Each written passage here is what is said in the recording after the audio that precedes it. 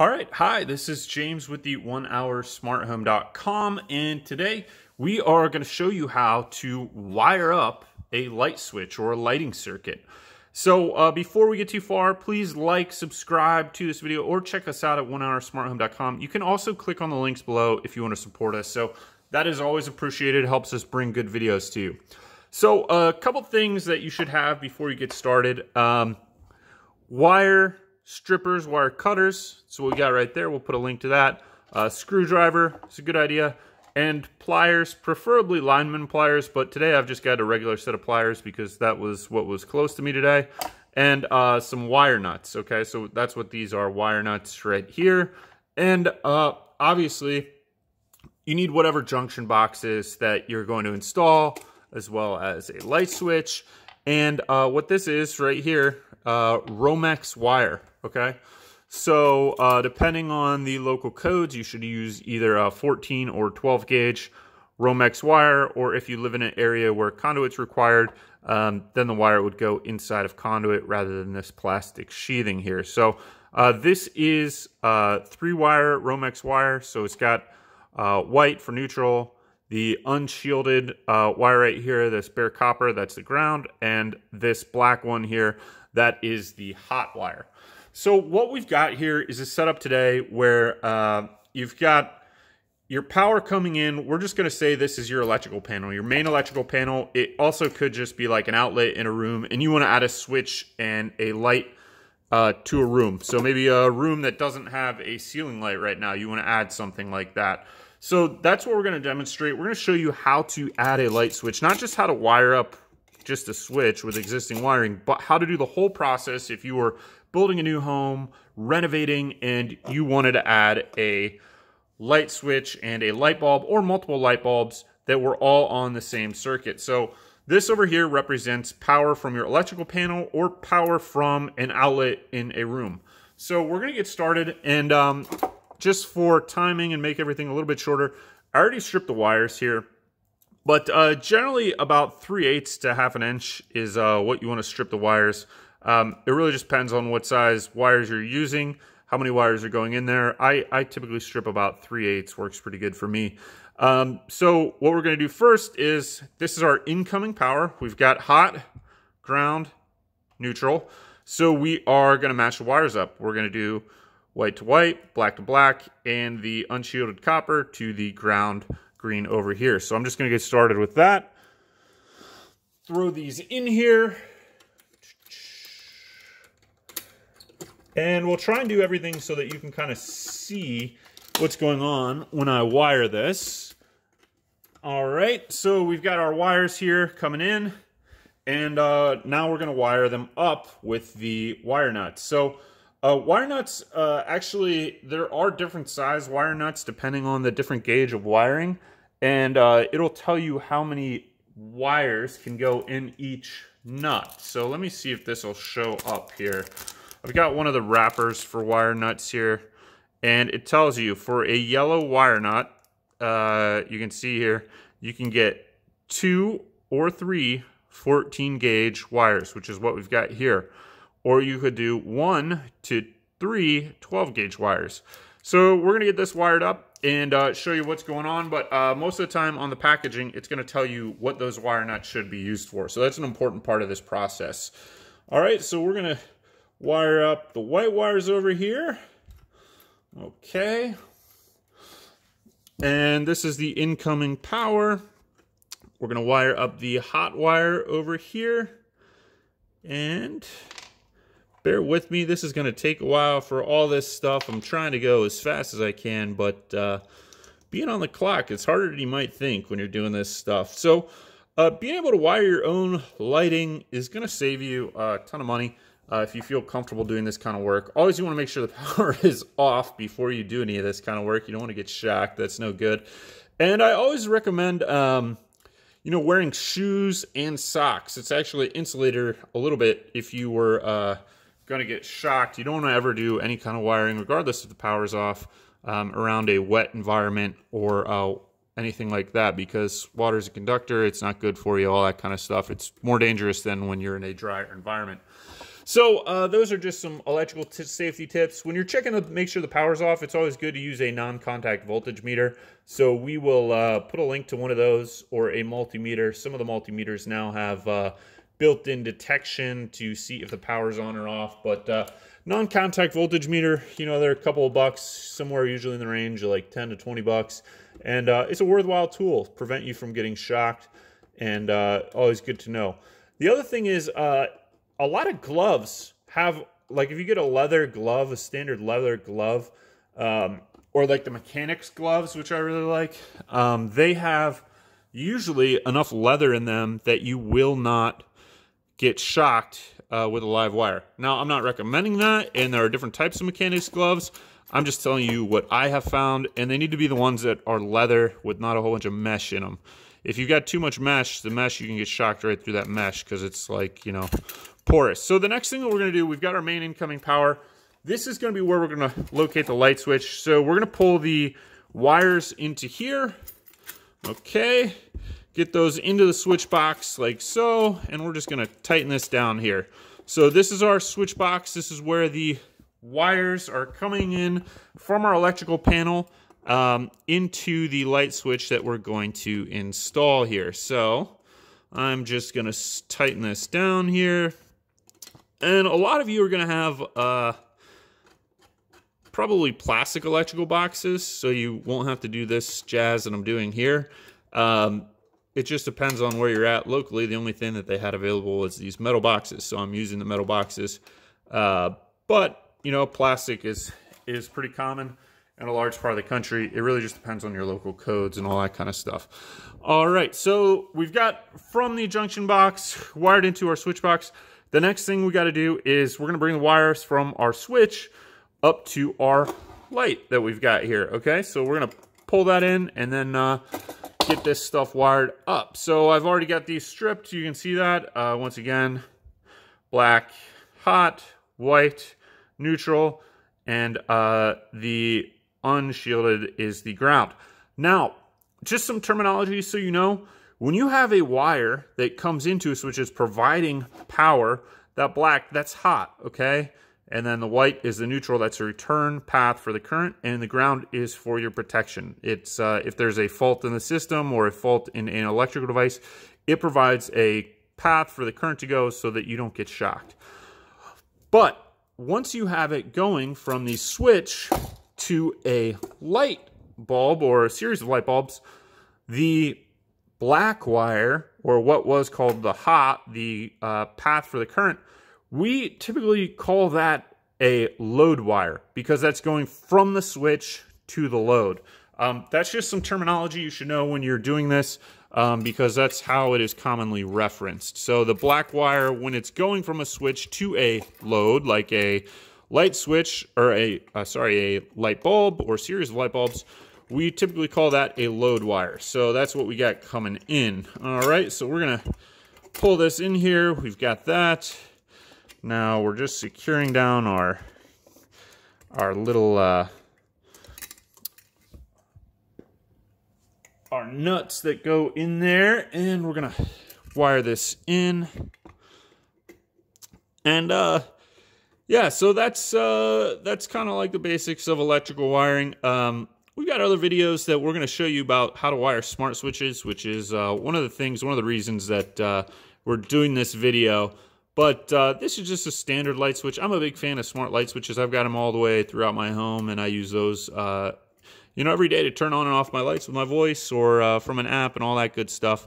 Um, but, you know, some people are just doing remodeling and they want standard light switches. Um, you know, and that and that's uh, that's okay. So we want to make sure that you have a resource just to know how to do standard wiring in your home.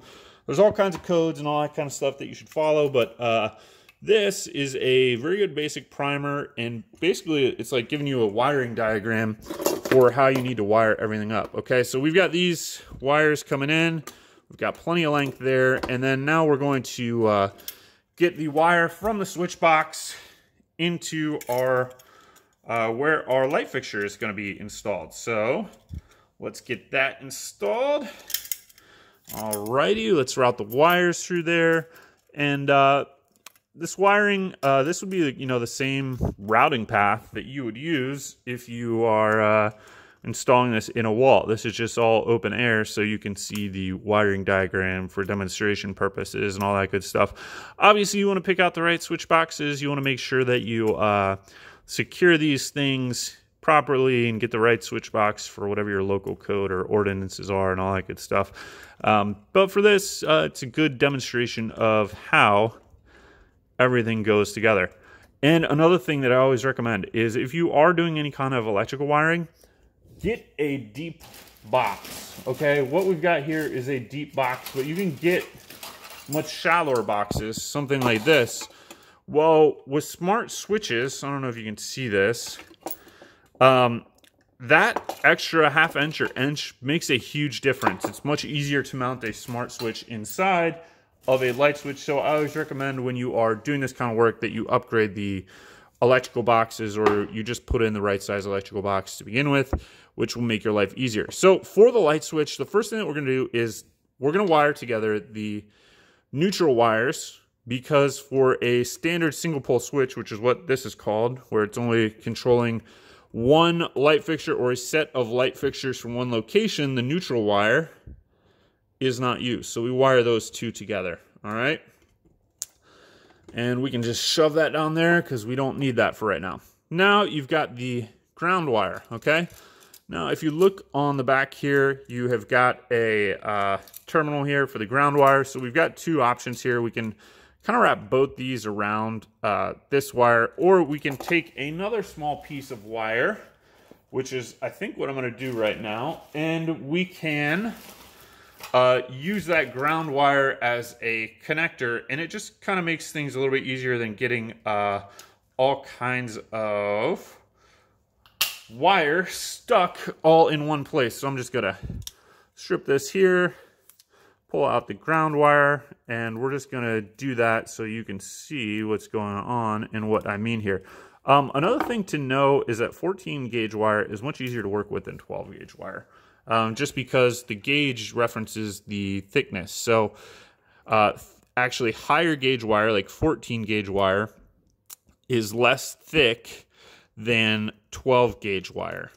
And uh, 12 gauge wire is thicker than 14 gauge wire. So you can see we've uh, we're adding our extra little ground wire there so that we can easily wrap this around the switch. And uh, what you're going to want to do is you want to make a little like loop so you can uh, you can put this around the terminal on the light switch, just like so, okay?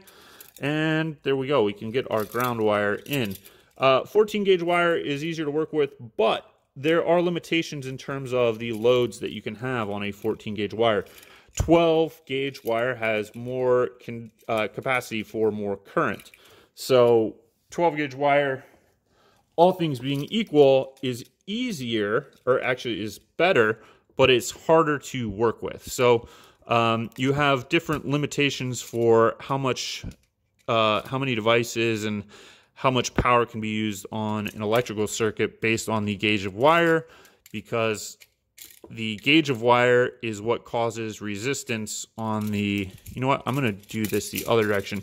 So it, it helps um, when you're doing this, if you get the loop to go in the same direction as you're going to be screwing in. Then it kind of like tightens the wire around the terminal that you're using. Um, you'll see this in a minute, but there we go. And now we've got our ground wire connected here. And what we've got left to do is connect our hot wire, which is coming in, and our load wire, which goes to our uh, our light switch, or not our light switch, excuse me, to our a our light. So uh, what I like to do here, and now, and now it depends, uh, you can either make a hook and put this in like this, or some light just have these quick connect things, which I like, which is just like that, okay? And that's just a really nice way to uh, get everything secured in there. So uh, we've got our hot wire coming in. I always put that on the bottom here. Make sure you've got the light switch oriented in the right direction. It's got a little logo here. It says Legrand, so that's the bottom of the light switch. And then now we're going to secure. So we've got the hot in the bottom of the switch, the incoming power, and that's black. That's coming from our electrical panel, okay? And then on the top of this single pole switch, we are going to install we are going to install our load wire. Okay, so let's get that in there, make sure we get a good connection. So you can see these quick connect terminals, super easy, as well as it kind of like shields the wire. Um, and then you need to tighten these down. Make sure you've got these nice and tight. All right, so we've got that in there. Uh, one thing that's counterintuitive when you're doing this, and I probably should have made this wire a little bit longer, is that uh, actually having longer wires in a junction box makes it easier to wire things because you can fold the wires easier and get them to fit into a junction box a little bit easier. You know what I'm going to do? If you've got wires that are being tricky, I always like these electrical connectors with uh, wings on them because it gives you more leverage to twist them and turn them. And once you kind of see those wires twisting together, then you got a good connection. You saw that yellow one, it kind of came undone there. So now we've got everything wired up. Uh, you've got your neutral wires back here, the white. You've got your hot coming in right here in the bottom, and you've got your load wire going up to the light fixture over here. And all we got left to do now is wire up the light fixture, and we're going to be good to go. So, uh, you know, you want to fold the wires kind of back in. This is like origami art here, how you fold these things. But the more wire that you have, the easier it is to fold and double back. And that's the other thing about working with 14 gauge. Um, it is easier to fold and get into an electrical box than 12 gauge. But like I said, it has less capacity um, for electrical current than 12 gauge. You can have more devices on 12 gauge wire if you've got the right circuit breakers and all that stuff. Uh, so that's always an important part of this. But uh, we'll get this screwed in here.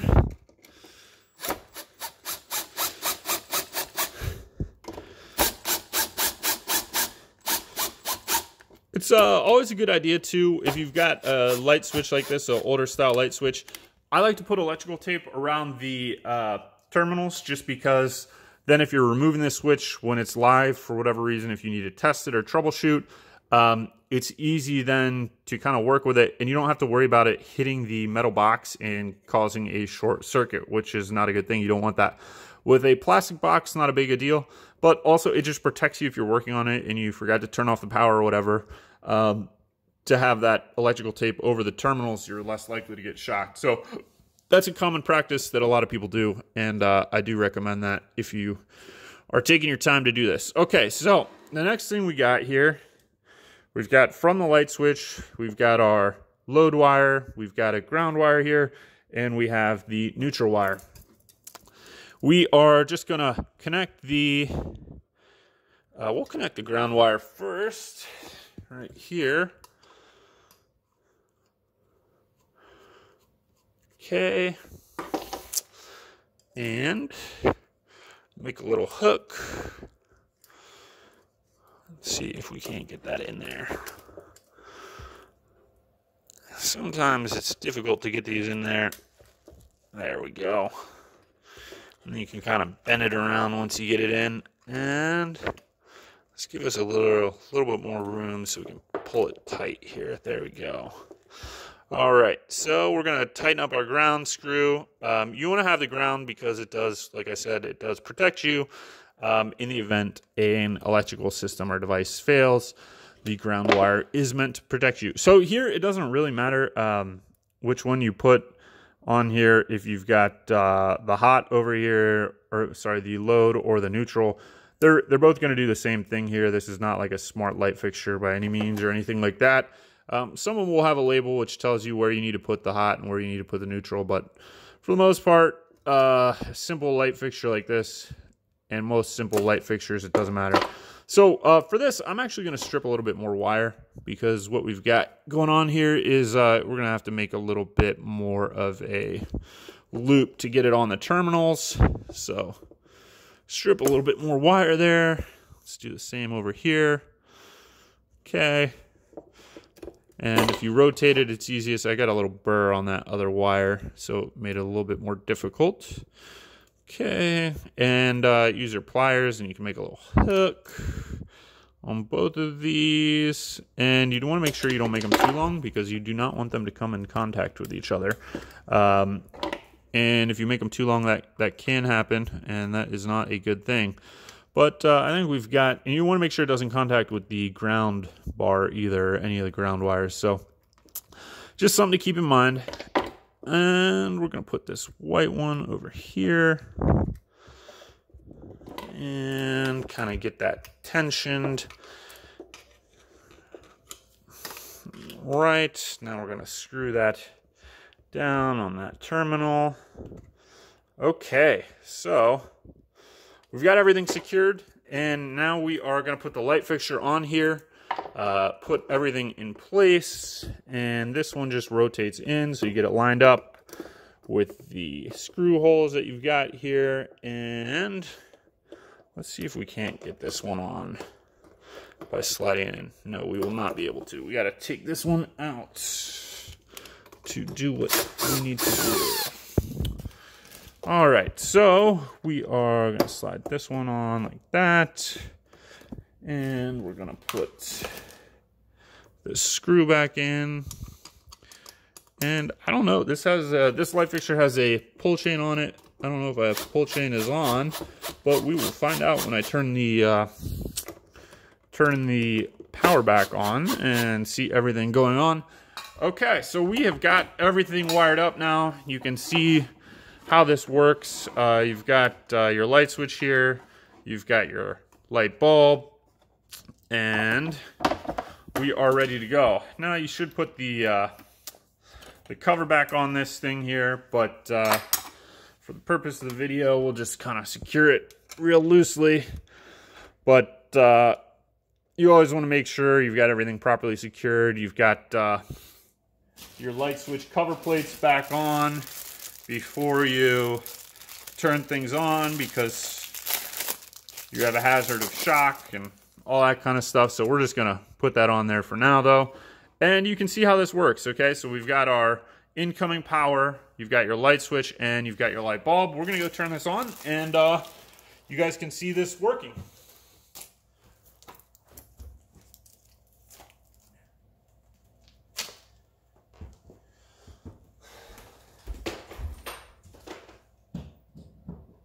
Okay, so the power is live right now. And let's see if that pull chain is on. There we go. So that is a working light bulb, light switch.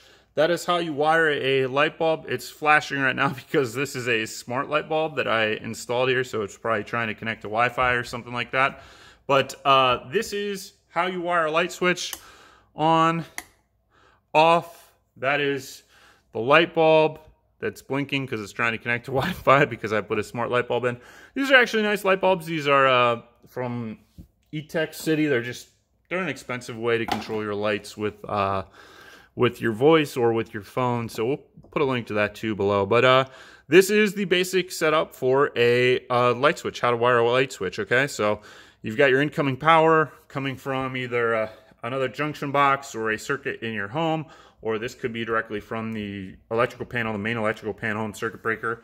You've got your light switch here. Okay which we've got wired up. And going to this, you've got the hot, load, and neutral. And then from the light switch, you've got the neutral wires wired together.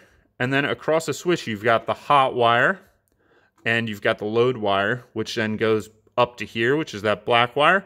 And then you've got a ground circuit that protects you and has got all these different uh, devices grounded. So you've got the uh, actual light fixture grounded. You've got the lights, uh, light switch grounded, and then going back to the electrical panel, you've got that grounded as well. So uh, a ground wire protects the system, but if you were to put your hand in there and touch a live wire, you would still get shocked. So when I say protection, it doesn't mean that it's going to protect you from getting shocked.